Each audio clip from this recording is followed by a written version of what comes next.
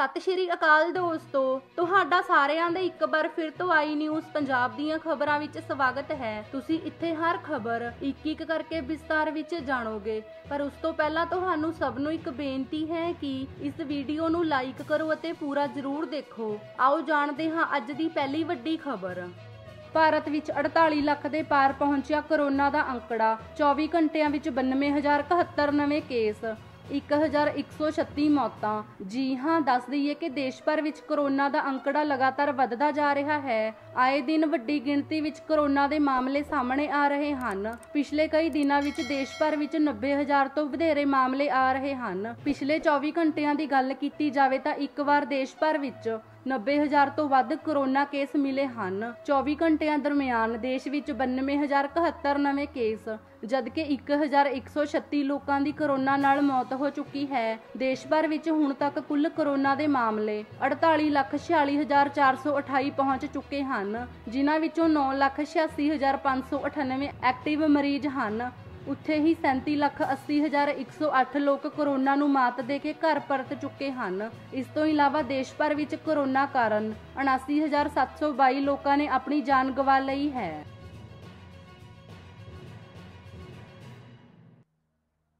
ਨਸ਼ੇ ਦੀ ਓਵਰਡੋਜ਼ ਨੇ ਲਈ ਆਰਕੈਸਟਰ ਦੀ ਜਾਨ। ਪਰਿਵਾਰ ਨੇ ਲਗਾਏ ਸਹੇਲੀਆਂ ਤੇ ਇਲਜ਼ਾਮ। ਜੀ ਹਾਂ, ਦੱਸ ਦਈਏ ਕਿ ਬਠਿੰਡਾ ਵਿੱਚ ਨਸ਼ਿਆਂ ਦੇ ਕਾਰਨ ਇੱਕ ਆਰਕੈਸਟਰ ਦੀ ਮੌਤ ਹੋਣ ਦਾ ਮਾਮਲਾ ਸਾਹਮਣੇ ਆਇਆ। ਮਿਲੀ ਜਾਣਕਾਰੀ ਮੁਤਾਬਿਕ ਮ੍ਰਿਤਕ ਲੜਕੀ ਦੀ ਸਮੈਕ ਦੀ ਓਵਰਡੋਜ਼ ਲੈਣ ਕਾਰਨ ਮੌਤ ਹੋਈ ਹੈ। ਪਰਿਵਾਰਿਕ ਮੈਂਬਰਾਂ ਦਾ ਇਲਜ਼ਾਮ ਹੈ ਕਿ ਸਾਡੀ ਲੜਕੀ ਦੀਆਂ ਸਹੇਲੀਆਂ ਨੇ ਉਸ ਨੂੰ ਸਮੈਕ ਦਾ ਨਸ਼ਾ ਦੇ ਕੇ ਮਾਰ ਦਿੱਤਾ। ਇਸ ਘਟਨਾ ਤੋਂ ਬਾਅਦ ਪਰਿਵਾਰ ਵਿੱਚ ਸੋਗ ਦੀ ਲਹਿਰ ਦੌੜ ਗਈ। ਉਧਰ ਇਸ ਘਟਨਾ ਦੀ ਸੂਚਨਾ ਮਿਲਦਿਆਂ ਹੀ ਸਥਾਨਕ ਪੁਲਿਸ ਨੇ ਮੌਕੇ ਤੇ ਪਹੁੰਚ ਲਾਸ਼ ਨੂੰ ਕਬਜ਼ੇ ਵਿੱਚ ਲੈ ਕੇ ਅਗਲੇਰੀ ਜਾਂਚ ਸ਼ੁਰੂ ਕਰ ਦਿੱਤੀ। ਜ਼ਿਕਰਯੋਗ ਹੈ ਕਿ ਪੰਜਾਬ ਵਿੱਚ ਆਏ ਦਿਨ ਨਸ਼ਿਆਂ ਦੀ ਆਮਦ ਵੱਧਦੀ ਜਾ ਰਹੀ ਹੈ, ਜਿਨ੍ਹਾਂ ਦਾ ਸ਼ਿਕਾਰ ਪੰਜਾਬ ਦੀ ਜਵਾਨੀ ਹੋ ਰਹੀ ਹੈ ਅਤੇ ਹੁਣ ਤੱਕ ਅਨੇਕਾਂ ਹੀ ਨੌਜਵਾਨ ਮੁੰਡੇ ਕੁੜੀਆਂ ਨਸ਼ਿਆਂ ਦੀ ਦਲਦਲ ਵਿੱਚ ਫਸ ਕੇ ਆਪਣੇ ਆਪ ਨੂੰ ਮੌਤ ਦੇ ਘਾਟ ਉਤਾਰ ਚੁੱਕੇ ਹਨ।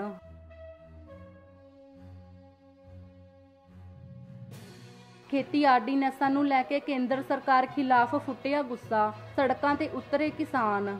ਜੀ ਹਾਂ, ਦੱਸ ਦਈਏ ਕਿ ਖੇਤੀ ਆਰਡੀਨੈਂਸਾਂ ਨੂੰ ਲੈ ਕੇ ਕਿਸਾਨਾਂ ਦਾ ਕੇਂਦਰ ਸਰਕਾਰ ਖਿਲਾਫ ਗੁੱਸਾ ਫੁੱਟ ਗਿਆ ਹੈ। ਕਿਸਾਨ ਮਜ਼ਦੂਰ ਸੰਘਰਸ਼ ਕਮੇਟੀ ਪੰਜਾਬ ਦੀ ਜ਼ਿਲ੍ਹਾ ਹੁਸ਼ਿਆਰਪੁਰ ਇਕਾਈ ਵੱਲੋਂ ਖੇਤੀ ਆਰਡੀਨੈਂਸਾਂ ਦੇ ਵਿਰੋਧ ਵਿੱਚ ਅਤੇ ਹੋਰ ਕਿਸਾਨੀ ਮੰਗਾਂ ਨੂੰ ਲੈ ਕੇ ਕੇਂਦਰ ਅਤੇ ਸੂਬਾ ਸਰਕਾਰ ਵਿਰੁੱਧ ਰੋਸ ਪ੍ਰਦਰਸ਼ਨ ਕਰਦੇ ਹੋਏ ਅੱਜ ਟਾਂਡਾ ਸ਼੍ਰੀ ਹਰਗੋਬਿੰਦਪੁਰ ਰੋਡ ਤੇ ਬਿਆਸ ਦਰਿਆ ਪੁਲ ਨੇੜੇ ਧਰਨਾ ਲਾ ਕੇ ਰੋਡ ਜਾਮ ਕੀਤਾ ਗਿਆ। ਕਿਸਾਨਾਂ ਨੇ ਅਣਮਿੱਥੇ ਸਮੇਂ ਤੱਕ ਇਹ ਪ੍ਰਦਰਸ਼ਨ ਸ਼ੁਰੂ ਕੀਤਾ। ਇਸ ਮੌਕੇ ਹੁਸ਼ਿਆਰਪੁਰ ਅਤੇ ਗੁਰਦਾਸਪੁਰ ਜ਼ਿਲ੍ਹੇ ਨਾਲ ਸੰਬੰਧਿਤ ਕਿਸਾਨਾਂ ਨੇ ਸਰਕਾਰਾਂ ਵਿਰੁੱਧ ਨਾਅਰੇਬਾਜ਼ੀ ਕਰਦੇ ਹੋਏ ਆਪਣੀਆਂ ਮੰਗਾਂ ਦੇ ਹੱਕ ਵਿੱਚ ਆਵਾਜ਼ ਬੁਲੰਦ ਕਰਨੀ ਸ਼ੁਰੂ ਕਰ ਦਿੱਤੀ ਹੈ। ਵੱਡੀ ਗਿਣਤੀ ਵਿੱਚ ਕਿਸਾਨਾਂ ਦੇ ਵਾਹਨਾਂ ਦੀਆਂ ਲੰਬੀਆਂ ਲੰਬੀਆਂ ਲਾਈਨਾਂ ਵੇਖਣ ਨੂੰ ਮਿਲੀਆਂ।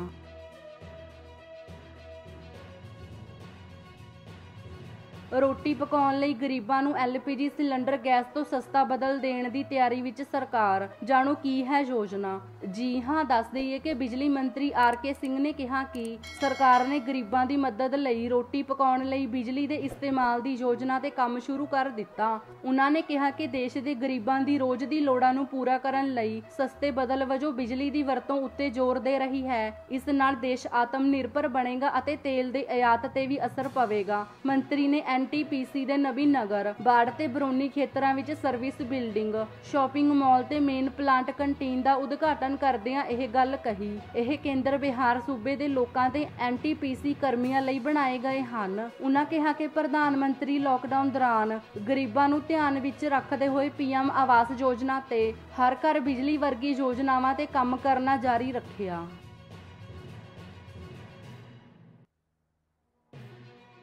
ਖਾਲਿਸਤਾਨੀ ਝੰਡਾ ਚਲਾਉਣ ਦਾ ਮਾਮਲਾ।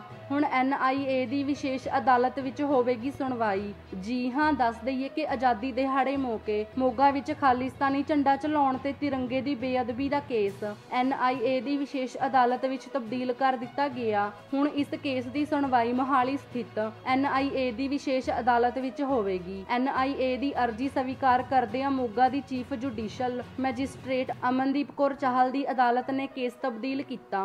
ਅਦਾਲਤ ਨੇ ਗ੍ਰਿਫਤਾਰ ਸਾਰੇ ਮੁਲਜ਼ਮਾਂ ਨੂੰ ਅੱਜ ਮੋਹਾਲੀ ਵਿੱਚ ਐਨਆਈਏ ਦੀ ਵਿਸ਼ੇਸ਼ ਅਦਾਲਤ ਅੱਗੇ ਪੇਸ਼ ਕਰਨ ਤੇ ਨਿਯਮਾਂ ਅਨੁਸਾਰ ਜੁਡੀਸ਼ਲ ਫਾਈਲ ਐਨਆਈਏ ਦੀ ਵਿਸ਼ੇਸ਼ ਅਦਾਲਤ ਵਿੱਚ ਭੇਜਣ ਦਾ ਹੁਕਮ ਦਿੱਤਾ। ਪੁਲਿਸ ਸੂਤਰਾਂ ਅਨੁਸਾਰ ਐਨਆਈਏ ਦੇ ਡੀਆਈਜੀ ਮੁਲਜ਼ਮਾਂ ਤੋਂ ਪੁੱਛ ਪੜਤਾਲ ਕਰਨ ਲਈ ਪੁੱਜ ਰਹੇ ਹਨ।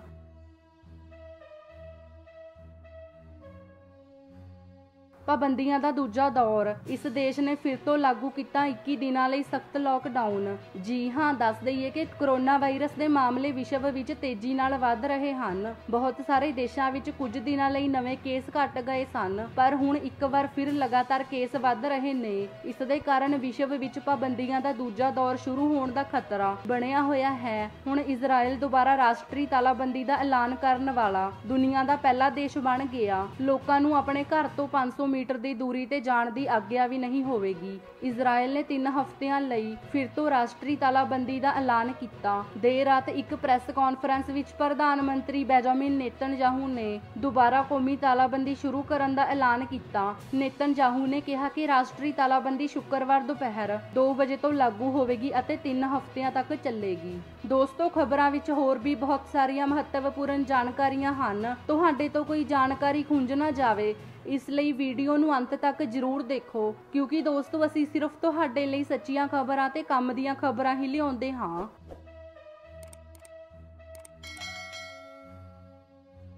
ਦਿੱਲੀ ਹਾਈ ਕੋਰਟ ਦਾ ਡੇਰਾ ਸਤਸੰਗ ਬਿਆਸ ਦੇ ਮੁਖੀ ਬਾਬਾ ਗੁਰਿੰਦਰ ਸਿੰਘ ਢਿੱਲੋਂ ਨੂੰ ਝਟਕਾ। ਜੀ ਹਾਂ, ਦੱਸ ਦਈਏ ਕਿ ਦਿੱਲੀ ਹਾਈ ਕੋਰਟ ਨੇ ਰਾਧਾ ਸੁਆਮੀ, ਸਤਸੰਗ ਡੇਰਾ ਬਿਆਸ ਦੇ ਮੁਖੀ ਬਾਬਾ ਗੁਰਿੰਦਰ ਸਿੰਘ ਢਿੱਲੋਂ ਨੂੰ ਝਟਕਾ ਦਿੰਦੇ ਹੋਏ ਉਹਨਾਂ ਦੀ ਉਸ ਪਟੀਸ਼ਨ ਨੂੰ ਖਾਰਜ ਕਰ ਦਿੱਤਾ, ਜਿਸ ਵਿੱਚ ਡੇਰਾ ਮੁਖੀ ਨੇ ਇਨਕਮ ਟੈਕਸ ਰਿਟਰਨ ਅਤੇ ਬੈਂਕ ਸਟੇਟਮੈਂਟ ਦਾਖਲ ਕਰਨ ਵਿੱਚ ਛੋਟ ਮੰਗੀ ਸੀ। ਅਖਬਾਰਾਂ ਵਿੱਚ ਛਪੀਆਂ ਖਬਰਾਂ ਮੁਤਾਬਿਕ, ਬਾਬਾ ਗੁਰਿੰਦਰ ਸਿੰਘ ਢਿੱਲੋਂ ਨੇ ਕਿਹਾ ਸੀ ਕਿ ਉਹਨਾਂ ਨੂੰ ਅਤੇ ਉਹਨਾਂ ਦੇ ਪਰਿਵਾਰ ਨੂੰ ਇਨਕਮ ਟੈਕਸ ਰਿਟਰਨ ਅਤੇ ਬੈਂਕ ਸਟੇਟਮੈਂਟ ਦਾਖਲ ਕਰਨ ਵਿੱਚ ਛੋਟ ਦੇਣੀ ਚਾਹੀਦੀ ਹੈ। ਇਸ ਤੇ ਜਸਟਿਸ ਰੇਖਾ ਪੱਲੀ ਨੇ ਸਪਸ਼ਟ ਕੀਤਾ ਕਿ ਟੈਕਸ ਰਿਟਰਨ, ਬੈਂਕ ਸਟੇਟਮੈਂਟ ਅਤੇ ਬੈਲੈਂਸ ਸ਼ੀਟ ਸਮੇਤ ਹੋਰ ਦਸਤਾਵੇਜ਼ ਜ਼ਰੂਰੀ ਹਨ। ਤਾਂ ਜੋ ਆਰਐਸਸੀ ਹੋਲਡਿੰਗਸ ਦੇ ਮਾਲਕ ਮਾਲਦਵਿੰਦਰ ਸਿੰਘ ਅਤੇ ਉਹਨਾਂ ਦੇ ਭਰਾ ਸ਼ਵਿੰਦਰ ਸਿੰਘ ਦੇ ਪ੍ਰਤੀ ਉਹਨਾਂ ਦੀ ਦੇਣਦਾਰੀ ਸਪਸ਼ਟ ਕੀਤੀ ਜਾ ਸਕੇ। ਪਟੀਸ਼ਨ ਵਿੱਚ ਡੇਰਾ ਮੁਖੀ ਨੇ ਕਿਹਾ ਸੀ ਕਿ ਇਹ ਉਹਨਾਂ ਦੀ ਨਿੱਜੀ ਜਾਣਕਾਰੀ ਹੈ ਅਤੇ ਗੋਪਨੀਯਤਾ ਬਣਾਈ ਰੱਖਣ ਲਈ ਉਹਨਾਂ ਨੂੰ ਉਕਤ ਦਸਤਾਵੇਜ਼ ਦੇਣ ਲਈ ਮਜਬੂਰ ਨਹੀਂ ਕੀਤਾ ਜਾਣਾ ਚਾਹੀਦਾ।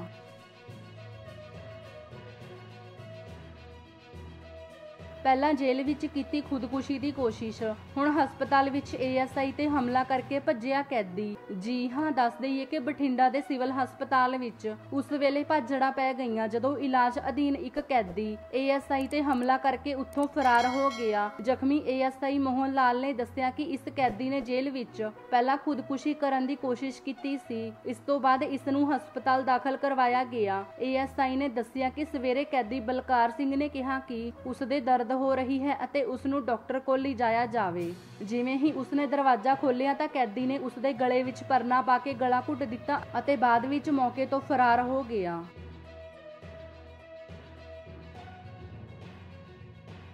ਕਰੋਨਾ ਨਾਲ ਲੜਾਈ ਵਿੱਚ ਪੂਰੀ ਦੁਨੀਆ ਲਈ ਮਿਸਾਲ ਬਣਿਆ ਪਾਕਿਸਤਾਨ। WHO ਨੇ ਕੀਤੀ ਤਾਰੀਫ।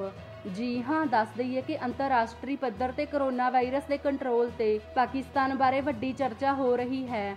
ਵਿਸ਼ਵ ਸਿਹਤ ਸੰਗਠਨ ਦੇ ਡਾਇਰੈਕਟਰ ਟੈਡਰੋਸ ਆਪਣੇ ਆਪ ਨੂੰ ਭਾਰਤ ਦੇ ਗਵਾਂਢੀ ਦੇਸ਼ ਦੀ ਪ੍ਰਸ਼ੰਸਾ ਕਰਨ ਤੋਂ ਨਹੀਂ ਰੋਕ ਸਕੇ। WHO ਦੇ ਮੁਖੀ ਨੇ ਕਿਹਾ ਕਿ ਇਸ ਸਮੇਂ ਪੂਰੀ ਦੁਨੀਆ ਨੂੰ ਪਾਕਿਸਤਾਨ ਤੋਂ ਸਿੱਖਣ ਦੀ ਜ਼ਰੂਰਤ ਹੈ। WHO ਦੇ ਮੁਖੀ ਨੇ ਇੱਕ ਬਿਆਨ ਵਿੱਚ ਕਰੋਨਾ ਨਾਲ ਲੜਾਈ ਵਿੱਚ ਪਾਕਿਸਤਾਨੀ ਸਰਕਾਰ ਦੀਆਂ ਰਣਨੀਤੀਆਂ ਦਾ ਸਮਰਥਨ ਕੀਤਾ, ਜਿੱਥੇ ਕਈ ਸਾਲ ਪਹਿਲਾਂ ਕੋਵਿਡ-19 ਨਾਲ ਨਜਿੱਠਣ ਲਈ ਬਣਾਈ ਗਈ ਪੋਲੀਓ ਦੇ ਬੁਨਿਆਦੀ ਢਾਂਚਾ ਦਾ ਸਹਾਰਾ ਲਿਆ ਗਿਆ। ਉਹਨਾਂ ਪਾਕਿਸਤਾਨ ਦੇ ਕਮਿਊਨਿਟੀ ਹੈਲਥ ਵਰਕਰਾਂ ਦੀ ਪ੍ਰਸ਼ੰਸਾ ਵੀ ਕੀਤੀ, ਜਿਨ੍ਹਾਂ ਘਰ ਘਰ ਆਪਣੇ ਬੱਚਿਆਂ ਨੂੰ ਪੋਲੀਓ ਟੀਕਾ ਲਗਾਇਆ। ਪਾਕਿਸਤਾਨ ਵਿੱਚ ਇਹ ਨਿਗਰਾਨੀ, ਜਾਂਚ ਅਤੇ ਸੰਪਰਕ ਵਿੱਚ ਰਹਿੰਦੇ ਲੋਕਾਂ ਦੀ ਦੇਖਭਾਲ ਲਈ ਕੀਤਾ ਗਿਆ। ਨਤੀਜੇ ਵਜੋਂ ਦੇਸ਼ ਵਿੱਚ ਕਰੋਨਾ ਸੰਕਰਮਿਤ ਲੋਕਾਂ ਦੀ ਗਿਣਤੀ ਵਿੱਚ ਤੇਜ਼ੀ ਨਾਲ ਗਿਰਾਵਟ ਆਈ। ਬਹੁਤ ਸਾਰੇ ਦੇਸ਼ ਕਰੋਨਾ ਵਾਇਰਸ ਦਾ ਮੁਕਾਬਲਾ ਕਰਨ ਵਿੱਚ ਸਫਲ ਰਹੇ ਹਨ।